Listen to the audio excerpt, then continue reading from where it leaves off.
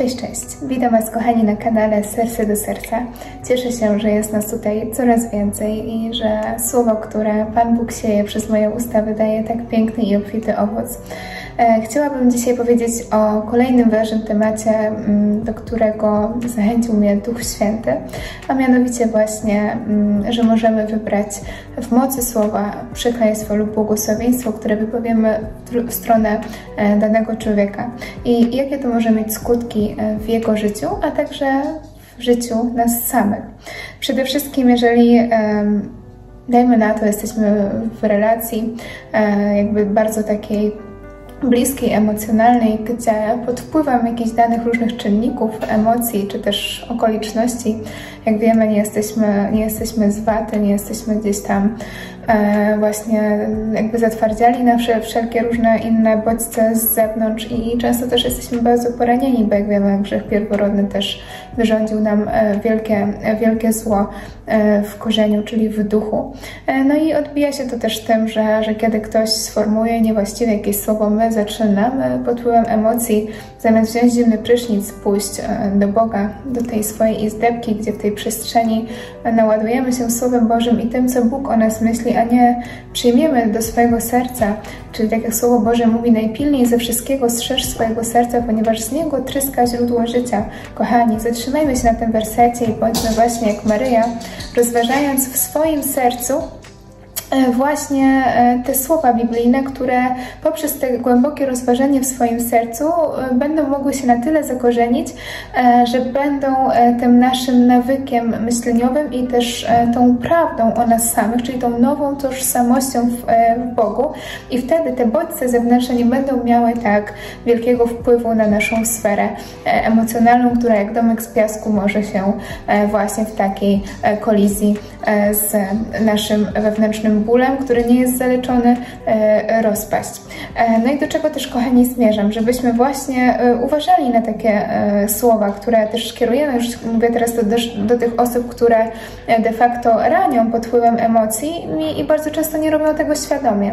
Natomiast jeżeli my powiemy pod wpływem emocji danemu człowiekowi, że nie wiem, bardzo często też e, tutaj akurat chciałam podać przykład e, małżeństwa, tak? Na przykład e, dużo, często zdarza się, że ktoś powie słowa mm, ja nigdy nie chciałam wyjść za Ciebie za mąż, albo mm, nie, nie, jesteś odpowiednią osobą dla mnie, żałuję, że w ogóle Cię poznałam, jesteś beznadziejny, beznadziejna, my zaczynamy taką osobę przeklinać, my zaczynamy cofać dane słowo, które daliśmy przede wszystkim na ołtarzu przed Bogiem, ale także drugiemu człowiekowi, w którym zaszczepiliśmy to poczucie bezpieczeństwa, że jest dla nas ważny i, i, i ta miłość jest taka mm, bezwarunkowa, ale też przede wszystkim e, trwała, która, która gdzieś tam przetrwa te wszystkie różne e, kolizje i takim właśnie słowem, które jest jak miecz obusieczny, czyli to słowo e, przekazanie nie zabijaj, ono dotyczy się również sfery słowa, tej płaszczyzny słowa przede wszystkim, bo to tak jak Jezus powiedział w Ewangelii, E, właśnie o tym, że,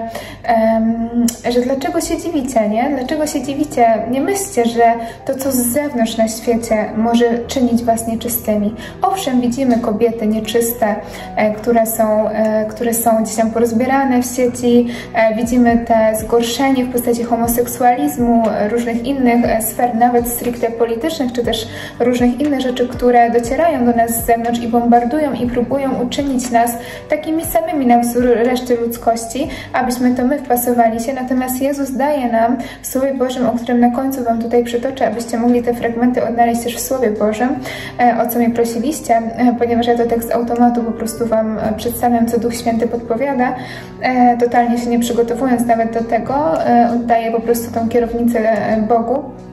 No i do czego też zmierzam, że właśnie Jezus powiedział, że wszystko to, co z zewnątrz, nie skala człowieka. Jezus mówi, że to nic, że to w świecie się dzieje. To Ty masz nadal wybór. I to z Twojego serca wypływa wyuzdanie, nierząd,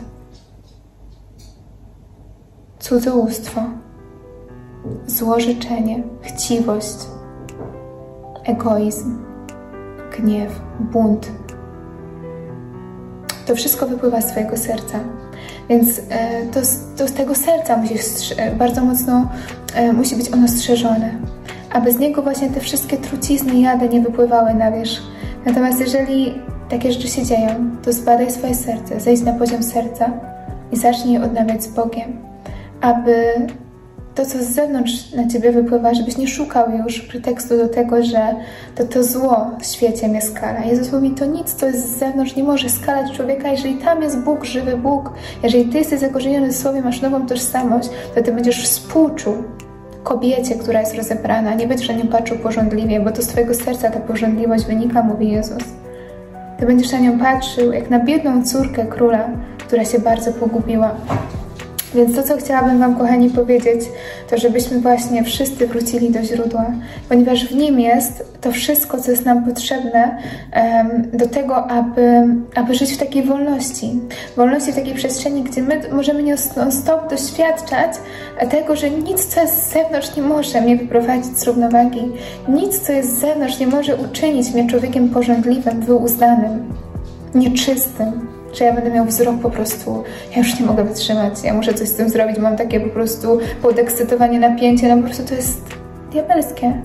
Kobieta jest piękna, ale ona nie jest do tego, żebyś ty w taki sposób e, konsumpcyjny ją pożądał. Ty masz ją kochać, ty masz na nią patrzeć jak najpiękniejszy diament, który Bóg stworzył, a Bóg był tym architektem. I wszystko inne ma wypływać tylko i wyłącznie z miłości do jej wnętrza, do jej serca i z podziwu do, do dzieł Pana Boga i, i to jest zarezerwowane dla Was dwojga, a nie dlatego, że nawet nie czujesz się jej mężem i nie jesteś jej mężem, ani nie jesteś jego żoną, a wkrada się porządliwość i, i już grzeszysz w swoich myślach. Jezus powiedział, zaprawdę powiadam Wam, że ten, kto w myślach porządliwie patrzy na kobietę, dopuścił się cudzołóstwa. Więc jeżeli chcesz, teraz mówisz, że zdjęcia w sieci, czy nawet jeżeli chodzi o moją historię, czy jakieś różne inne rzeczy czynią Cię nieczystym, to nie to Cię czyni nieczystym. Zbadaj swoje serce i może czas na modlitwę uwolnienia. Bo Ty powinieneś współczuć takiej osobie, która miała takie życie. I tak samo, jeżeli chodzi o, mm, o jakieś mody, trendy, czy to właśnie jeżeli chodzi o ubiór, o style, e, czy też właśnie o chciwość pieniądza, mówisz dzisiaj taki świat, trzeba gonić za pieniędzmi, za pracą. No nie. To w Twoim sercu jest właśnie ta chciwość, albo w Twoim sercu, to wiecie też, ja też to mówię do siebie, jak to głoszę, bo to Duch Święty mówi przeze mnie i ja wiem, że ja też muszę to swoje serce badać. Także tu staję w pokorze przed Wami. Bo też często ulegam temu, temu właśnie takiemu e, pędowi, tak? Pędowi w stronę świata, w stronę konsumpcjonizmu, i, i tego, żeby, żeby gdzieś gubię tą modlitwę, jest ona na szybko. E, ale, ale Bóg przychodzi z taką, e, z taką ochroną i z takim mm, taką rózgą, żeby nas troszkę skarcić i czasami gdzieś tam pokazuje nam przez te nasze upadki, że się zaniedbaliśmy, że ta modlitwa nie była na poziomie sercem albo ogólnie odłączyliśmy się od źródła, a wargami czciliśmy Boga, nasze serce było daleko od Niego. Więc, e, więc to wszystko, jeżeli nasze serce jest daleko od Boga, nie jest serce przy sercu z Bogiem, to tam się wkrada właśnie wyuzdanie, nierząd, chciwość, materializm, właśnie ten duch tego świata i to wszystko inne. Także badajmy swoje serce, co w nim jest i nie szukajmy winowajców z zewnątrz, bo nic, co jest z zewnątrz, nie może Cię uczynić nieczystym. Jezus mówi. W Tobie będzie współczucie do świata, do przemocy, w rodzinach do, do homoseksualizmu, do, do kobiet, które się rozpierają w sieci, do, mm, do jakichś po prostu innych religii nawet. Nie będzie tam w tobie buntu, że coś ci może zgorszyć, że coś może zostać w tobie zasiane, wyprowadzić cię z równowagi. Jeżeli ty sam będziesz, twoja wiara będzie i twoja mm, miłość będzie zbudowana na skalę, czyli na Bogu, na Słowie Bożym, które będzie w tobie zakorzenione i tak jak Maryja będziesz je rozważać nieustannie w swoim sercu, to wtedy nie będzie mógł szatan tymi porywami e, po prostu próżności i, i doczesności Ciebie porwać i zaburzyć Twoją boską harmonię. I wracając jeszcze właśnie do tych słów, które wypowiadamy, w mocy języka mamy błogosławieństwo i przekleństwo, właśnie śmierć i życie, to wypowiadając takie słowa właśnie, o których wcześniej wspominałam, czyli że jesteś beznadziejny, do niczego się nie nadajesz, bardzo często to pada w małżeństwach, nic z ciebie nie, nie ma żadnego pożytku, jesteś beznadziejny, tobie nic nie wyjdzie, jak będziesz tak robił w życiu. Znowu nie to kupiłeś. Jesteś po prostu niezdarny, w ogóle się nie nadajesz do zakupów i jak my wypowiadamy takie słowa do swojego męża, do swojej żony, w ogóle gotować nie potrafisz, gdzieś tam w ogóle to, to, to w ogóle się do niczego nie nadaje, tego się zjeść nie da. Gdzieś tam bardzo często takie, takie zdania padają, czy, czy, czy, czy gdzieś tam e, mogłabyś wyglądać tak czy inaczej, gdzieś tam i tak dalej. Gdzieś tam gasimy, gasimy słownie, czy też przez sugestie gasimy też e, piękno w kobietach, piękno w mężczyźnie, też ich męskość. Więc tutaj e, ważne jest, żebyśmy się budowali, czyli wnosili to życie, bo Bóg jest życiem, żebyśmy te życie wnosili też w relacje. I, i też bardzo ważne jest do naszych ma maluczkich, bo Jezus powiedział, że cokolwiek żeście uczynili jednemu z tych najmniejszych, mnieście uczynili. To dotyczy się nie tylko ludzkości, ale właśnie także tych małych dzieci, które są właśnie jeszcze nie zepsute, jeszcze nie skażone tym światem i w momencie, w którym, e, w którym my zaczynamy właśnie e, zaczynamy właśnie e, jakby je chować, bo to jest takim darze od Boga, żeśmy to otrzymali. Więc bardzo ważne jest, kochani, właśnie, żebyśmy te nasze dzieci błogosławili, ponieważ w mocy słowa jest błogosławieństwo i przekleństwo. Bóg nam dał taki wielki, potężny dar zupełnie za darmo, bo jesteśmy stworzeni na Jego obraz i to, co wypowiadamy, tworzy. Więc jeżeli my swoje dzieci zaczniemy błogosławić, pomimo, że są niezdarne, pomimo, że są e, bardzo często nierozumne, nie rozumieją pewnych kwestii, to jeżeli my będziemy po prostu wypowiadać słowa z miłości do nich i, i z tego, aby one stały się lepsze, to one rzeczywiście takie się staną. Ważne tu jest też również asertywność i stawianie granic, żeby dziecko nasze nie było mm, po prostu pogubione. Także czasami surowość też jest wskazana dla wyższego dobra dziecka.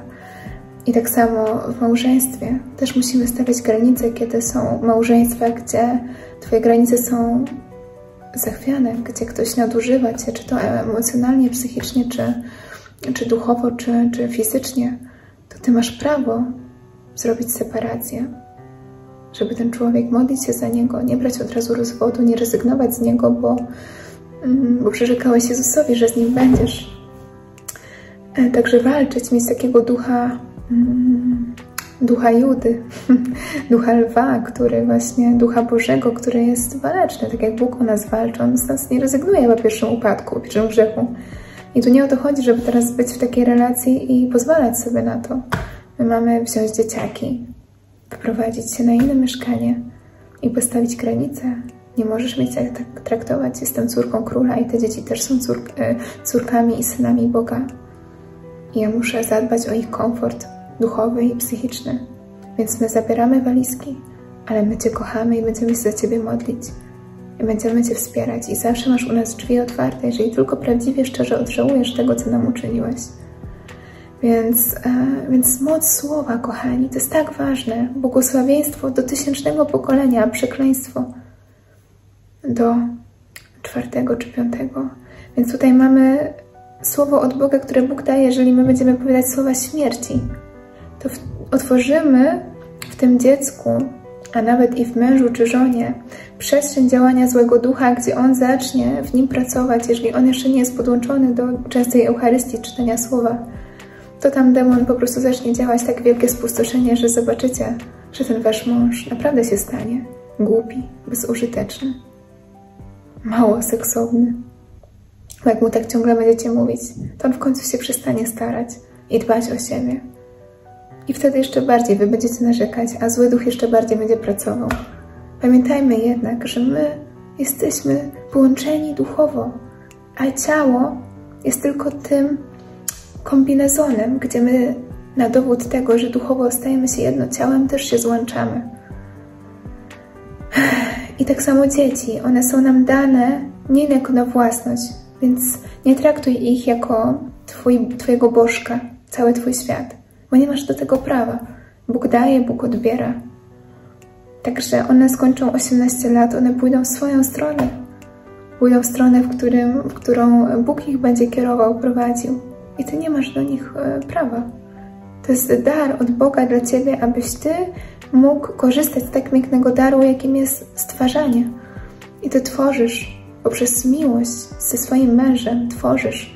Bóg tak samo z miłości zaczął tworzyć, dzielić się tym życiem. I powstaliśmy na wzór i obraz Jego. Polecam Was, kochani, bardzo serdecznie i dajcie znać, jak obejrzycie film Ziemia Maryi.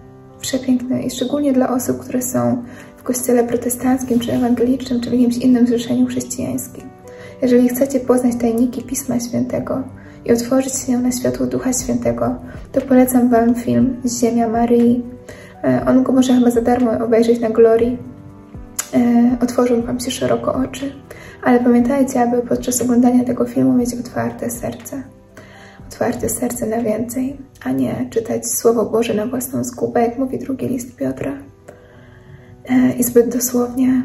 Mm, I do czego zmierzam, kochani? Do tego, żebyśmy właśnie błogosławili, nie złożyczyli i tak samo sami siebie nie przeklinali, bo to też jest bardzo ważne, bo od nas się zaczyna. To my najpierw mamy stać się tym naczyniem pełnym błogosławieństwa, czyli wypowiadać słowa błogosławieństwa z mocą o sobie, o swoim życiu, które usłyszymy w Słowie Bożym, bo Bóg nieustannie do nas mówi. On do nas mówi, jesteś piękna, córko króla, jesteś diamentem w dłoni Twego Ojca.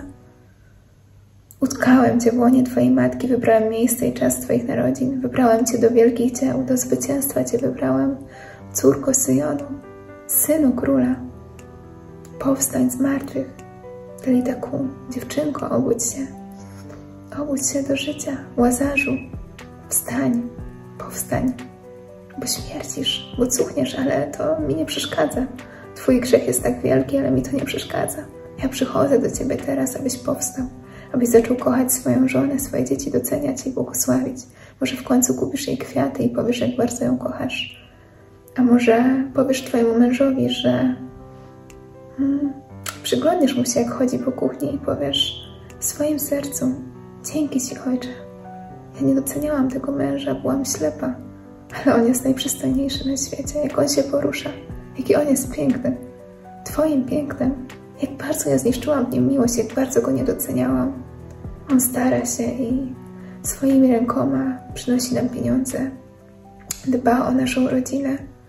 Może nie jest doskonały, ale, ale jest mi dany od Ciebie, więc ja chcę się nim cieszyć i chcę być pierwszą albo pierwszym, który powie słowo kocham żonie, albo który powie dobre słowo. I nie dlatego, że będę szukać yy, odwzajemnienia, o tym powiem w następnym filmiku, że miłość nie szuka swego, ale tylko dlatego, że z czystej miłości z serca i z tego, co Bóg mi daje i mówi o mnie, ja chcę tylko dawać, a nie brać. Ja nie chcę, żeby moja kobieta czy mój mąż odpłacił mi tym samym. Ja będę się modlić, aby w jego sercu też powstała czysta miłość, dzielenia się miłością, która płonie we mnie. Ale to ja chcę być tym początkiem, ale żeby to się stało, ja muszę być pełnym naczyniem. Nie mogę czuć osamotnienia z powodu mm, braku miłości własnej. Kochaj bliźniego swego jak siebie samego. Musisz przyjść do źródła, do Jezusa. On Cię napełni i będziesz w stanie poprzez odnowienie tożsamości w Bogu pójść do drugiego człowieka i dać mu prawdziwą miłość i prawdziwy zachwyt, nie oczekując zapłaty. Nie mówiąc, ja Ci często mówię takie słowa, a czy Ty mi mówisz? To jest miłość warunkowa. To jest miłość, która jest niedojrzała, to jest miłość, która, mm, która chce zapłaty i nie robi tego bezinteresownie, tylko robi to, aby coś odzyskać. I to często wynika z ran. Właśnie tego, że nie słyszeliśmy w dzieciństwie dużo słów o sobie ciepłych i potrzebujemy non stopie słyszeć. A jeżeli się odnowimy, to to, co będziemy słyszeć, utwierdzi nas tylko w fakcie tego, co sami o sobie myślimy i widzimy w lustrze, kiedy rano wstajemy. Czy stając rano, patrząc w lustro, uśmiechasz się do siebie? Bo ja tak. Uśmiecham się do siebie i kiedy jestem bez makijażu, po prostu taka, jak mnie Bóg stworzył. I mówię, cudowne są Twoje dzieła, Boże. Piękną córką jestem. Dziękuję Ci za to, że mnie tak cudownie stworzyłeś. Dziękuję za to, że mnie posyłasz, że dajesz mi misję że czynisz moje serce pięknym, łagodnym, kobiecym, które się nigdy nie zestarzeje, a będzie tylko coraz młodsze i piękniejsze. Dziękuję Ci, tato, bo cudownie mnie stworzyłeś. Taka modlitwa serca i taka modlitwa dziękczynienia dotyka serca samego Boga i czyni nas wolnymi od opinii ludzkiej, tego, co ktoś o nas powie.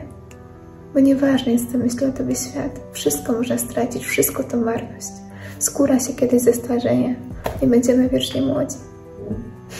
Kiedyś może zabraknąć hybrydy na paznokciach, ale jeżeli będziemy duchowo odnowieni, to właśnie tutaj w naszym sercu będzie ta skała, która, która nie odbierze nam naszej tożsamości i będzie tym właśnie miłość Boga i Słowo Boga, które jest w nas zakorzenione. Także życzę Wam tego, abyście właśnie w mocy Słowa wypowiadali słowa błogosławieństwa i żyli nim w rodzinach, ale też żyli nim we właśnie we własnej świątyni swojego serca, która jest przybytkiem spotkania z Bogiem. Trzymajcie się ciepło, kochani, i dajcie znać w następnym filmiku, jak Wam się podobał film, bo ja mogłabym go oglądać na okrągło i często posługuję nim jako film e, właśnie ewangelizacyjny dla ludzi, którzy chcą odnowić w sobie relację z Bogiem Ojcem i pokochać Go jeszcze mocniej i zrozumieć rolę Maryi w czasach końca. Trzymajcie się. Cześć. Dziękuję, że jesteście. Dziękuję, że wspieracie kanał Serce do Serca. Mam nadzieję, że uda się w niedługim czasie zorganizować jakieś studio nagrań. Być może powstaną też jakieś spotkania z innymi osobami, ze świadectwami. Także będzie to piękna inicjatywa i módlcie się właśnie też o pokorę. Też e, gdzieś tam dla mnie zostaje e, od Was dużo wiadomości, jesteście w wielkich potrzebach i, i ja wiem, że muszę, muszę trwać, jest wiele zniechęceń, też no jakby już nie chcę o tym wszystkim opowiadać, ale wiem, że to jest Boże dzieło i, i muszę wytrwać i też muszę być chroniona, także Wasza modlitwa jest dla mnie najcenniejszym prezentem. Dziękuję, że jesteście. E, trzymajcie się raz jeszcze. Cześć. Przecież z obfitości serca usta mówią. Dobry człowiek z dobrego skarbca wydobywa dobre rzeczy. Zły człowiek złe rzeczy, a powiadam wam z każdego bezużytecznego słowa, które wypowiedzą ludzie, zdacie sprawę w dniu sądu. Bo na podstawie słów Twoich będziesz uniewinniony i na podstawie słów Twoich będziesz osądzony. Z wnętrza Twojego bowiem pochodzą złe myśli, nierząd, kradzieże, zabójstwa, cudzołóstwo, chciwość, przewrotność, podstęp, wyuzdanie, zazdrość, obelgi, pycha, głupota. Bowiem błogosławieństwo Ojca podpiera domy dzieci, a przekleństwo Matki wywraca fundamenty. Pamiętaj, że słowo nabiera mocy w Twoim sercu. Zatem niech z Twoich ust nie wychodzi żadna mowa szkodliwa, lecz jedynie budująca. Jeśli chcesz zachować życie w sobie i w członkach Twojej rodziny, ponad wszystko pilnuj Twojego serca, bo z niego tryska źródło życia. I weźmiesz te słowa do swojego serca i zbudujesz na tej skale, to jeżeli będziecie trwać w Bogu, a Jego słowa w Was, to o cokolwiek poprosicie w imię Jezusa, Boga Ojca, spełni się Wam tak, jak obiecał nam nasz Pan i Zbawca, bo okażecie się być ludźmi sprawiedliwymi, których Słowo Boga nie zostało jedynie słowem pustym, ulotnym, a zakorzeniło się w Waszym sercu i wydało owoc obfity, bo dotarło do serca samego Boga. Amen. Módlmy się na końcu tymi słowami. Panie Jezu, ja dziękuję Ci za to, że na Kalwarii Ty stałeś się przekleństwem za mnie, że wszelkie zło i wszelkie słowa, które zostały powiedziane nad moim życiem, zostały też przybite gwoździami do krzyża na Kalwarii.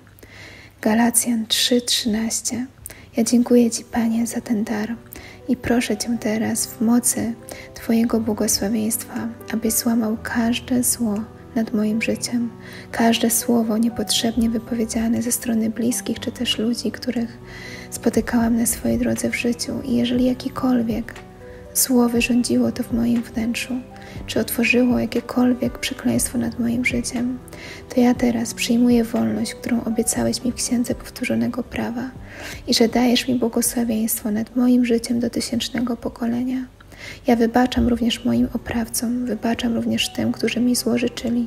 I ogłaszam również wolność nad ich życiem, aby żaden demon przekleństwa nie miał dostępu do ich serc ani do ich Mm, do ich świątyni Ducha Świętego, którą nam dałeś, którą jest nasze ciało, aby wszelkie zło odeszło od nas i nie miało do nas żadnego dostępu. Żadna choroba, która nie pochodzi od Ciebie, psychiczna, duchowa, fizyczna, żadna choroba umysłu, czy też choroba serca przede wszystkim, czy śmierć, która została w nas tak mocno zapieczętowana właśnie przez te słowa przekleństwa wypowiedziane nad naszym życiem. Ja łamię teraz to wszystko i przyjmuję każde słowo, o którym tutaj rozmawialiśmy i pragnę, aby Duch Święty pracował we mnie, abym mogła rozważać je w swoim sercu i aby one mogły stworzyć właśnie tą taką warownię, tą taką e, broń, którą będę miała w zasobie, kiedy zły duch przyjdzie, aby właśnie okraść mnie z tego, co Ty mi dajesz, Panie. My dziękujemy Ci za Twoją wolność i ogłaszamy zwycięstwo, ponieważ Ty zwyciężyłeś świat. I właśnie z takim błogosławieństwem chcemy iść w świat i głosić Twoją chwałę, głosić Twoją miłość. Bo Ty, Panie, jesteś ponad tym wszystkim. Duchu pokory przepraszamy również za nasze słowa, które żeśmy wypowiedzieli, czy też za nasze myśli, czy nawet to, co zrodziło się w naszym sercu i zmaterializowało się w świecie zewnętrznym, widzialnym. Kłaniamy się Tobie, Panie Jezu Chryste, i błogosławimy Tobie, że przez, przez krzyż i mękę swoją odkupiłeś nas od właśnie parowni naszego wroga, szatana. Dziękujemy Ci za to, że, że możemy to łamać i wzywać Twojego potężnego imienia. Jezus. Amen.